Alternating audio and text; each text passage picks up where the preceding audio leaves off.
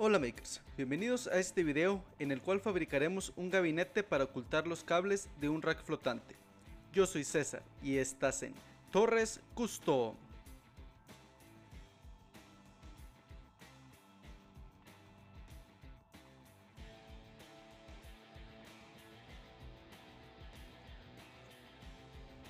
Vamos a comenzar formando el cuerpo principal del rack, el cual se compone de dos laterales, un techo y un suelo.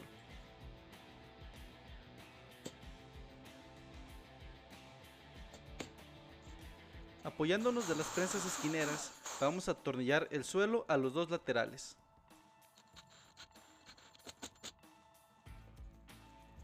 Primero hacemos una perforación guía con una broca avellanadora del número 8 y después utilizamos un tornillo de una pulgada y media de largo del número 8. Esto lo vamos a realizar para los dos laterales.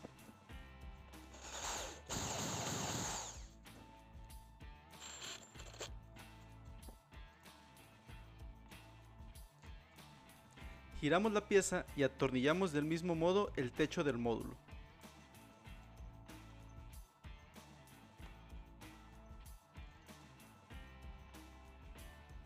Vamos a utilizar melamina color wengue o color chocolate. Los cortes, así como la cintilla, ya nos llegan hechos y colocados desde parte del proveedor.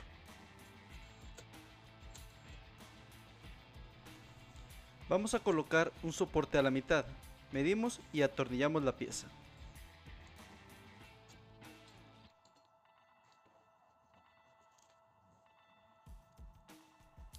Durante todo este proyecto nos apoyaremos de las prensas esquineras, las cuales nos facilitan muchísimo el trabajo.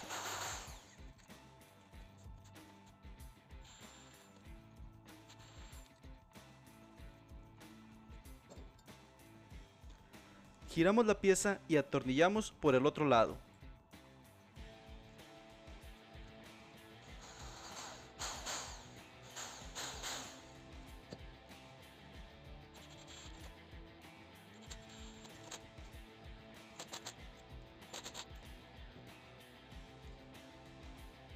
Ahora a las piezas que están en el centro le vamos a colocar dos piezas, una de cada lado, haciendo una especie de sándwich.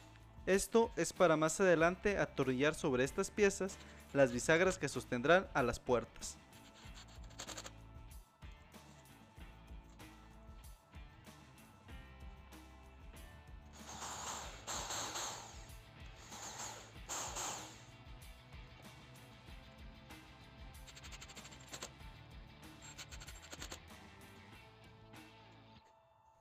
Volvemos a girar la pieza y atornillaremos por el otro lado del módulo.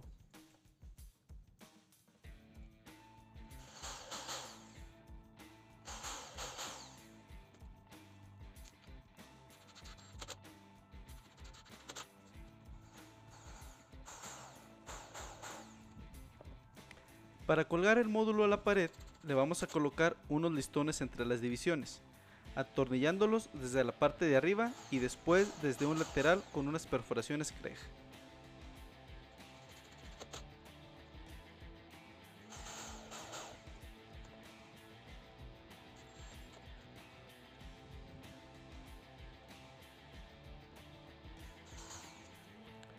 Vamos a colocar dos listones en cada división, uno en la parte superior y otro en la parte inferior.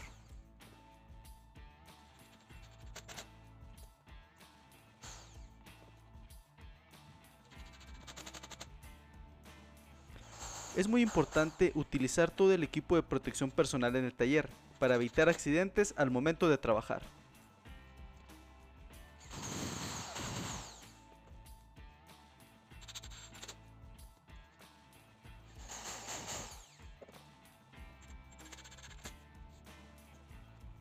Te invitamos a hacerte miembro del canal para poder descargar este y otros planos de proyectos y de material exclusivo para miembros.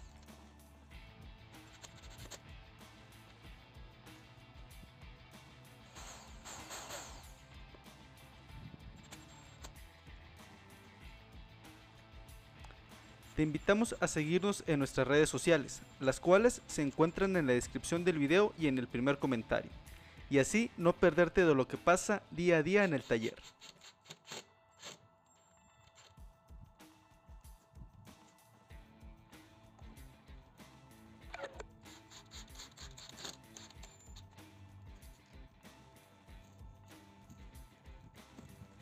Ahora es momento de colocarle las bisagras a las puertas.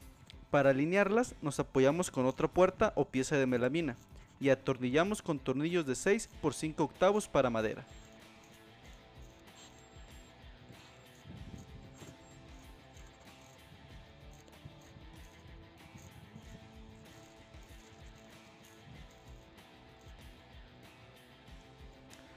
Les recomiendo atornillar un poco el primer tornillo y después el segundo de la misma manera. Y al final ya fijarlos firmemente. Esto nos permite realizar correcciones al momento de instalar las bisagras.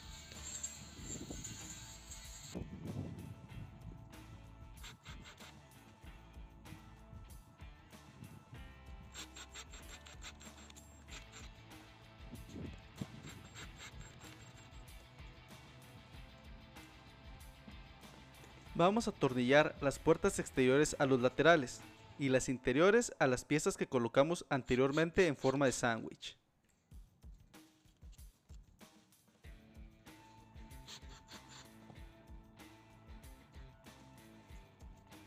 Al tener tres piezas de melamina, nos permite utilizar bisagras normales y que las puertas abran sin problema y no choquen entre ellas, ya que queda una pieza al centro, la cual a su vez nos sirve de vista.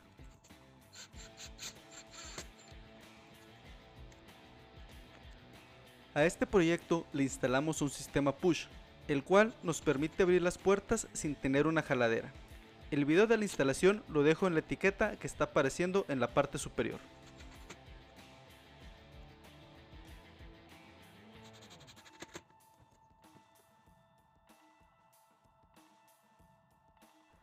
Y así makers ya tendremos listo nuestro gabinete para ocultar cables. Los invitamos a comentar, compartir y darle like al video así como suscribirse al canal y activar las notificaciones. Yo soy César y nos vemos en un próximo video de Torres Custom.